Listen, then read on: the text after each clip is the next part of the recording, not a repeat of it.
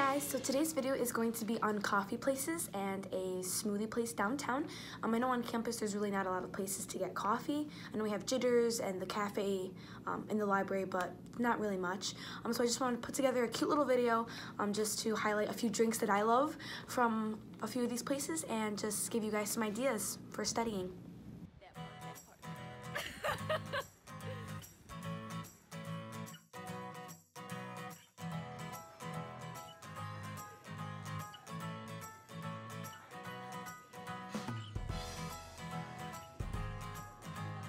Folding. Hey guys, so we are currently at Juice for Life downtown, and we both got smoothie bowls. I got the berry blend, little Yep. this color, and then I got the tropical green.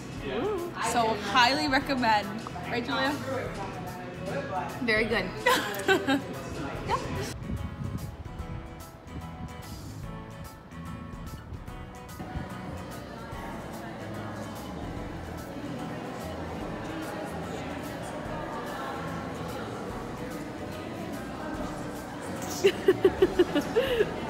So I'm currently at Spot downtown, um, and I ordered a pumpkin spice chai latte. So I definitely um, recommend.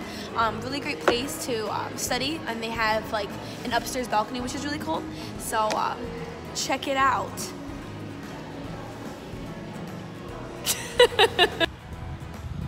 Why are you sitting so awkwardly?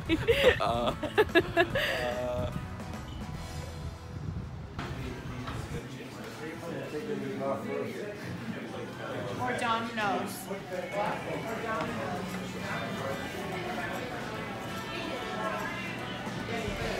I am currently at Starry Nights. It's called Starry Nights because they recreated the Van Gogh painting. I don't know if you can see it. Right there. Right, right there. Lighting's kind of weird. Anyways, um, it has really cheap coffee and it's really great. So I recommend this place. It's super cute.